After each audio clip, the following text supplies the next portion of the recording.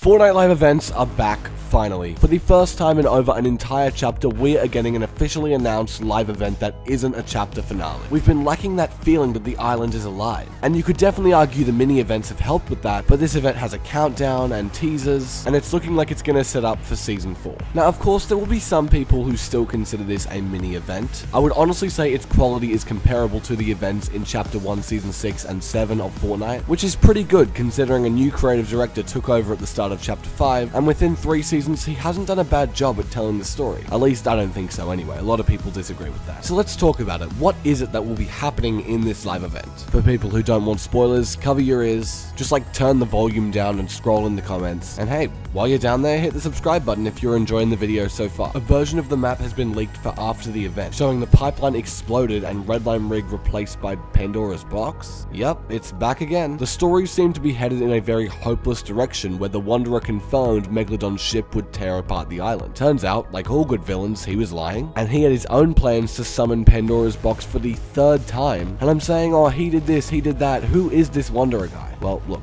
storyline fans, you're gonna have to take a seat for this one, okay?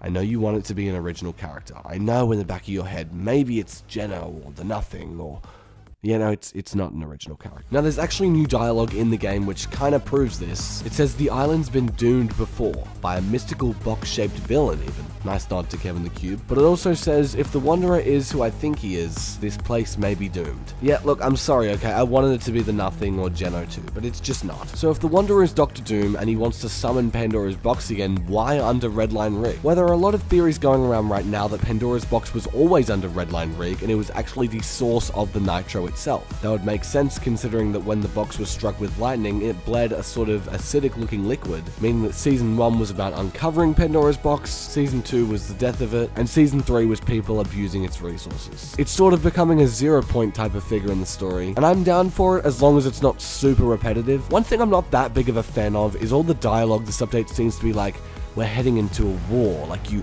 you have to win this war next season, and it's like, that's kind of in every season. Season 1, War Against the Society, who were the new faction on the island because they kidnapped Peely. Season 2, the War Against Zeus and the Gods. Season 3, the War Against the Wasteland. And Season 4, the War Against Doctor Doom. Like, that's a lot of war. Of course, it makes me reflect back on the days of the story where it was sort of more of an overarching plot. Like the prime example is Chapter 2, Season 5 to Chapter 2, Season 8. That whole thing was about the Imagined Order trying to fend off the last reality. Like those whole four seasons built up to that. It wasn't like a brand new story at the start of every season like it is now, but if that's how Charlie Wen wants to tell things, that's up to him, not me. Now, I get that I'm kind of bagging this man a bit. You know, I'm doing him a bit dirty. How about we give the man some praise for making a live event three seasons into his career? Like, that's pretty solid, man. From F Assist on Twitter, the fourth stage of the Nitro pipeline is now live. The pipeline is now fully completed, with the final piece injecting the fuel slowly with a countdown for four days. The live event will take place on Saturday the 10th at 2pm Eastern Time. Just convert that into your time zone. You can just type 2pm ET into Google and it will come up with what it is in your time zone. So there we go.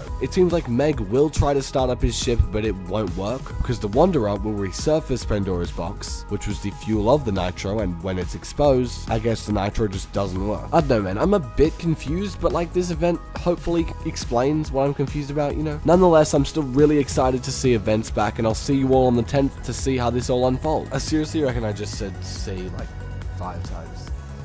Alright, see ya.